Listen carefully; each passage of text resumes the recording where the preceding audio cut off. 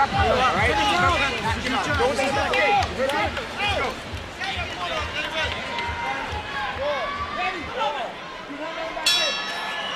fifth and final round of this light welterweight K1 rules battle. Danny Steele in the yellow trunks, Melchor Menor put on a terrific show for the Mirage crowd tonight. This has been an excellent fight. Steele is going to try to knock him out in this round. Danny doesn't like winning by decision. I, I don't think he wants to give it to the judges either. It, it may be closer than we think. You're, you're right, Lon. I'm, I'm, talking like Steele's got this fight won, but that's a that may not be an accurate assessment at all. Melchor Menor has fought a very good fight. Danny's been better later, but Melchor was good early. But either way, Steele's going to try to knock him out. Well, you're right about that. That's bottom line there, babe. Yeah.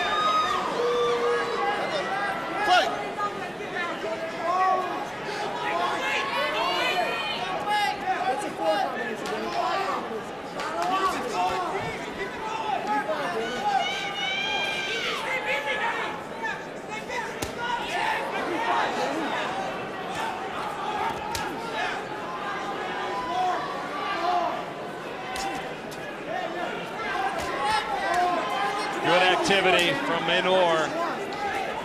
Steele's going to wait for the last minute of the round, and then he's going to pour it on. I don't think he can take Menor out. Menor's too good of a fighter. He also knows Steele's style.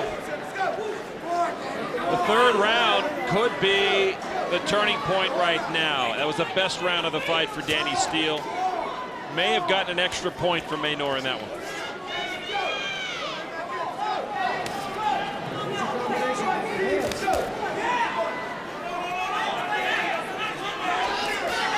Steele still looking to land the big right hand or the big right roundhouse kick.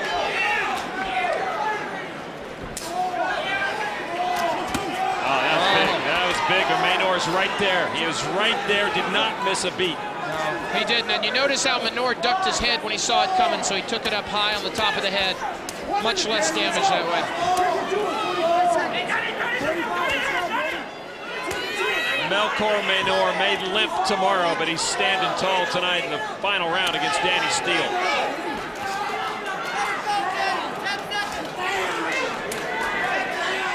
Come on, come on, give it to him now.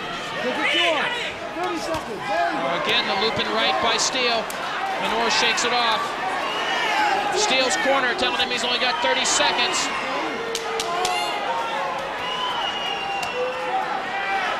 Coming to the end of the round. And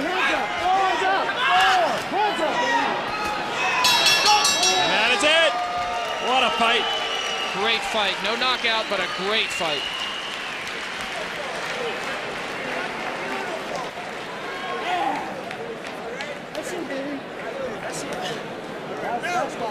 Great action in round number five. Is right near the end of the round. You see Steele giving it everything he's got with the right hand. He comes back with the left. All I want is a knockout, but I just can't quite get it. But I'll finish strong anyway. Spinning back fist, a last-ditch effort by Danny Steele to win with a knockout. Just couldn't quite make it. Now he's hoping he's won a decision. It's in the judge's hands.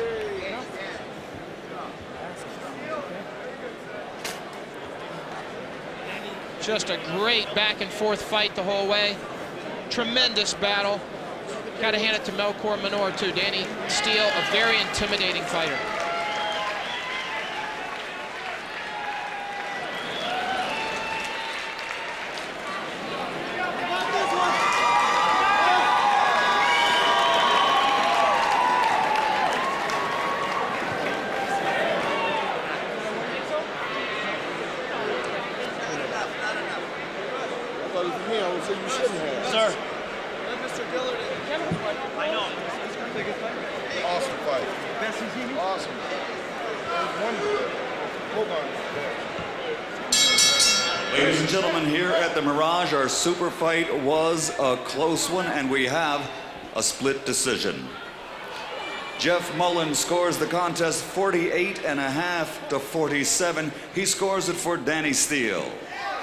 Glenn Trowbridge scores the contest 49 to 47 and a half. He has it for Melchor Menor.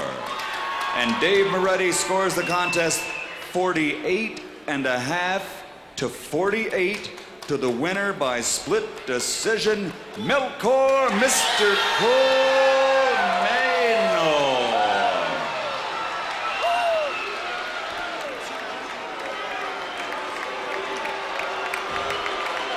A popular decision with the crowd here, but by a half point, Melchor Menor is the winner and will meet George Titsui after his victory over Danny Steele tonight in Las Vegas.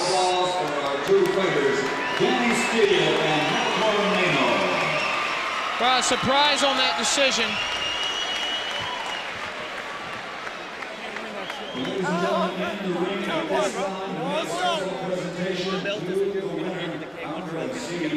Century Martial Arts Supply, Mr. Michael Dillard, and the executive director of the Martial Arts Industry Association, Mr. Frank Silverman.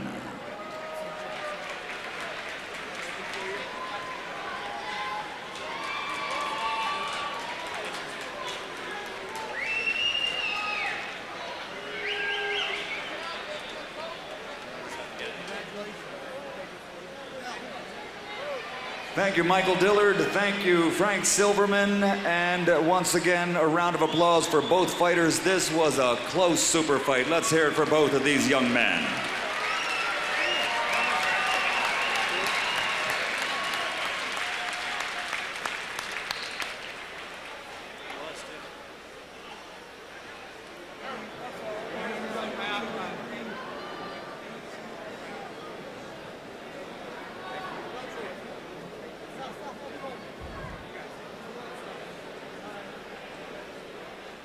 Ladies and gentlemen, on behalf of everyone from the K1 World Grand Prix organization around the world and the Mirage Hotel here in Las Vegas, we'd like to thank everyone tonight. Once again, the K1 tournament here in Las Vegas was a sellout. You're the best fans in the world. We thank you very much here at the Mirage. Give yourselves a round of applause.